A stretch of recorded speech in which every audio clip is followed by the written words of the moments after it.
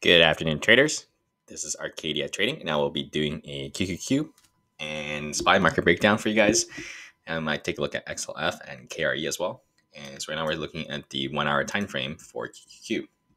Essentially, after the Tuesdays, Bear couldn't follow through with their hourly downtrend. The bulls just took over. And once we gone back above the 12 EMA, which is the teal looking line, you can see bulls have been in full control and we tested it here once today and we bounced right off of it. So as long as the bulls stay above that, they are in full control. Even on the four hour time frame, you can see we pretty much shot straight up. So I'm still looking for a consolidation. Um, you can say this candle here is a consolidation.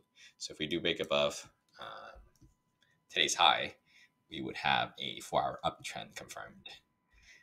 And some people argue that uh, they want a candle below it, but argue that this could form a far uptrend as well if we do break today's high.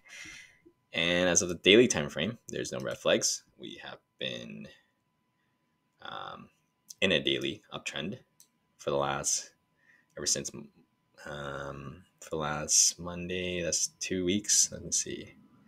So this is a daily uptrend. Once we broke above this high, this was confirmed daily uptrend, so we're still in a daily uptrend. No red flag for the bulls at all, but the tomorrow is the last day of the month as well as last day of the quarter. So it's going to be a lot of um, rebalancing.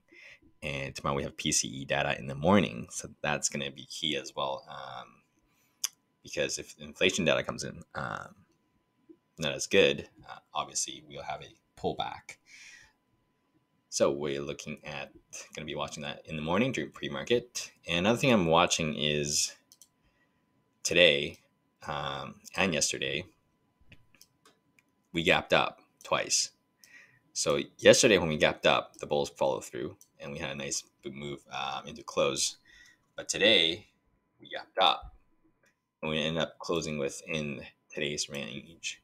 So that's um, it's not what the overnight uh, buyers want to see because they they want the cash open to push up higher and when the futures market starts um, they can potentially take profit or go um, or continue the bull move. So it's going to be interesting tomorrow to see if we do see any bears show up or not. As of now um, bears are nowhere to be found um, on this chart. You can see uh, this consolidation was he- very healthy as well. Um, so there's no bears to be seen on the NASDAQ and QQQ. Is a little bit more on the SPY due to XLF, financial sector, and KRE being a lot weaker um, other sectors. So you can see XLF here. Just gotta delete that. So we had a decent four day bounce and we also gapped up as well this morning and it was all all bears pretty much after the gap up was below the daily 12 EMA. And right now we are back to yesterday's range. So um, we'll have to see if this weakness continues. Um, if this weakness continues, it weakens um, IWM as well. IWM has a lot of um, small cap holdings. So I'm gonna go to KRE real quick, see how it looks like. So this is the small, small regional banks. This is what the IWM is holding.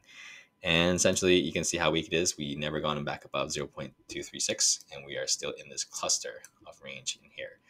Um, we get another leg down. We are looking at testing the all-time low support, and we'll see if that the financial sector continues the weakness. If it does, um, it'll likely continue to drag SPY down, and if that keeps on going, um, we'll have to see if QQQ is gonna be able to hold up the SPY because um, where is it QQQ?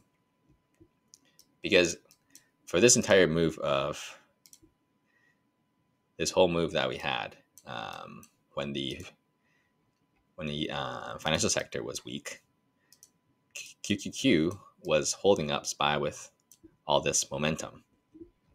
And if QQ decides to take a break, um, after moving up so much, then SPYs is going to roll over too, due to it being held up a lot by uh, QQQ. So we'll have to be watching if KRE and XLF ends up testing the new lows or testing the prior lows, or we then end up making new lows. Um, if we do make new lows, um, there's likely going to be more fear coming into the market, and that could potentially um, put QQQ going from lead bull into lead bear. So QQQ and the semiconductor sector right now is the lead bull. So we'll see who's going to shift to who, or the financial sector may shift bull into um, joining QQQ and the semiconductor. So as of tomorrow, we'll see uh, what the last day of the quarter and the PCE data tomorrow will look like, and I'll update you guys after that. Just need to find out where my button is so I can close this recording. Where was I? Oh, there it is. Yeah, see you